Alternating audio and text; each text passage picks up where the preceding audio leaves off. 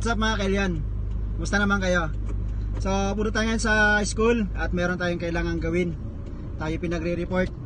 So, kailangan nating ah, gumawa ng isang protective shield sa gate kasi by next week ah, kailangan namin mag ah, magpa magpa-retrieve ng mga books.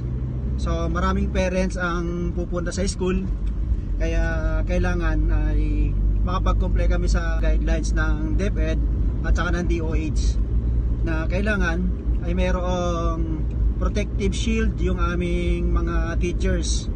So ngayon, ako'y napag-utusan na kasama sa gagawa. So, update ko kayo mamaya kailan. See you mga kailan.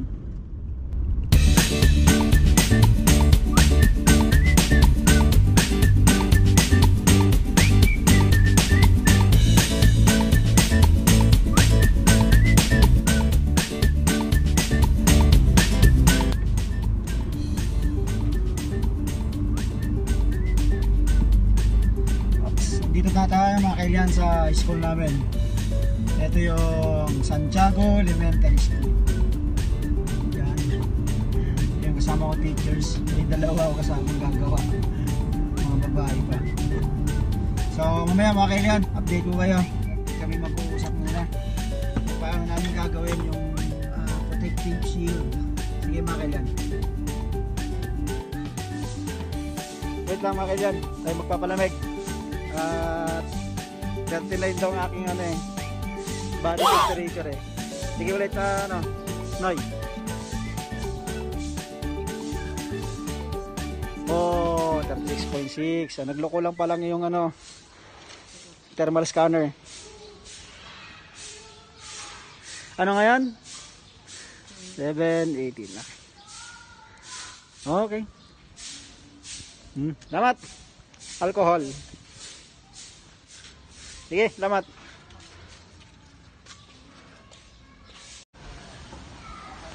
Yan.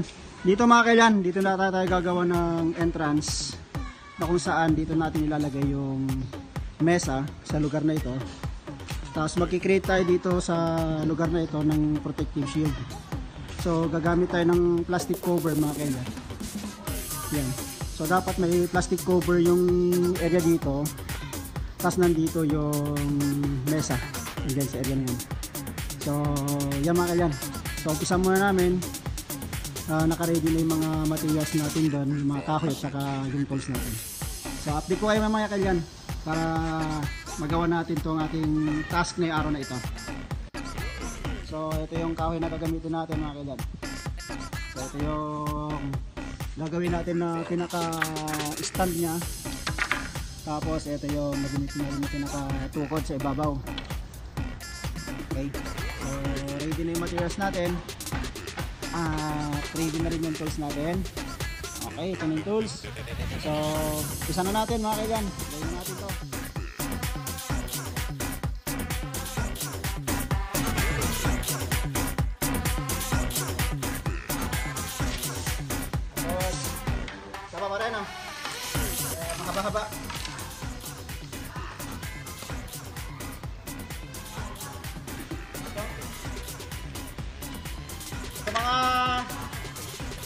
mga nakuha namin ng mga kahoy, mga kailan, napulot lang ni Kuya doon, sa sulok-sulok.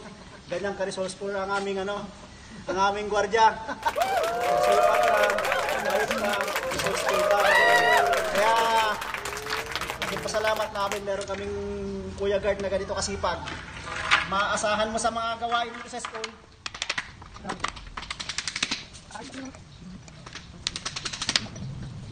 Keep.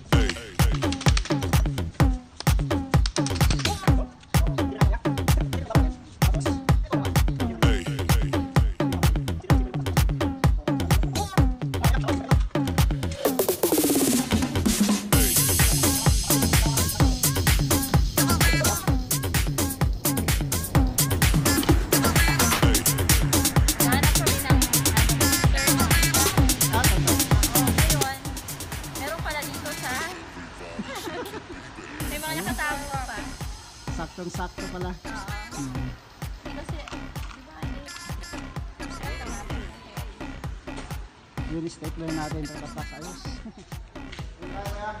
Kailangan natin ng ano, walang frame, no?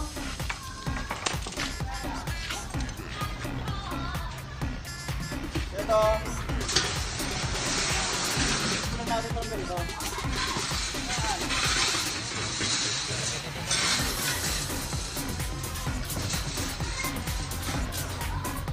Parang mga Dito sila. Hindi ako makapasok. Yun.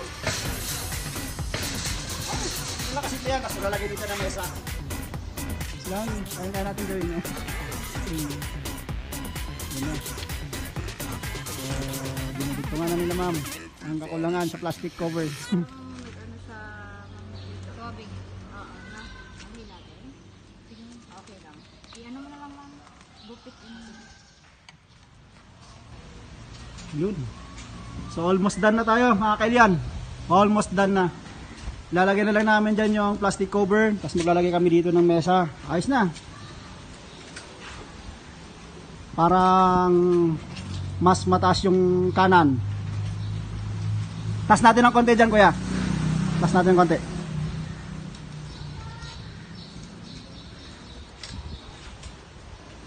Konti pa kuya, konti pa. Sige pa kuya, konti pa. Oo yun, ayos. Ayan. Tapos kunin na natin yung plastic cover para ano. Kunin natin yung plastic cover. Ito na ma'am. Okay na sir? Ayos na ma'am. Cover na lang. Ganun kabilis. Ganun kadali. Ang tanong, Kasha. kasya kaya? Pwede tayo mag-extend. Di kasha. hmm. Pero try pala. Oh. Ganito mga ka-resourceful yung mga teachers natin dito. Oh. Nakapag-provide sila ng plastic cover. Oh. Yan, punta na tayo doon, mga kailan. Tignan natin. Susukat natin kung kakasya tong ano, dala nila ma'am na plastic cover.